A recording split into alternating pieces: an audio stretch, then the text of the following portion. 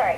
I have to thank Digital portable TVs, a hot commodity as hurricane season approaches. It has a built-in rechargeable battery, so like when you have power outages, any severe weather, you can continue to use this particular unit. We went to Radio Shack to find out what you'll want to look for when you're buying one. First of all, getting one might take a while, so do it soon. Most stores are selling out quickly each time they get a shipment. Probably with these, probably go in about three or four days. Just there's the demand. We also had a list going there for a while. Manager Jim Park explains most models come with everything you need an AC adapter, car adapter, a rechargeable internal or external battery, an antenna, even a remote control. Typically, these portable TVs run between $100 and $200. First thing to do when you get one is make sure you get a signal. It's either going to be there or it's not going to be there. The nice thing with the digital signal, when it is there, it's crystal clear. It's not like old rabbit ears. There won't be fuzz if the stations aren't coming in clearly. The set will just say no signal or something similar.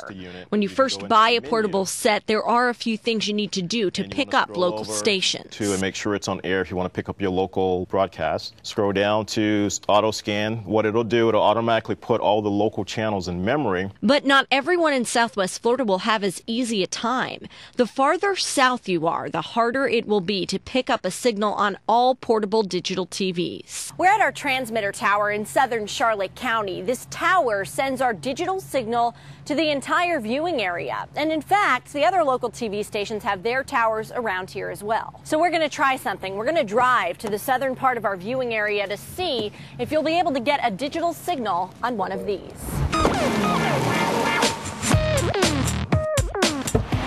Okay, so we're on Marco Island now. Let's give this thing a try.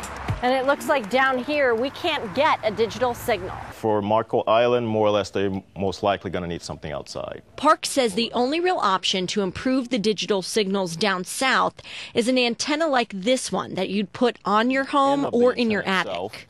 Just a couple of bolts that goes through each section of it. And these work very well. The only drawback, they are fairly large, but they will draw in a station up to about 80 miles away. Not everyone would want this on their house, though, and there's no guarantee it would stay up during a storm.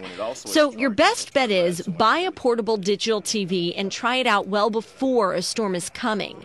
That way, if you know you can't get NBC2 to get your vital information, you know you'll need to make other plans when a hurricane hits. Marissa Brainy, NBC2.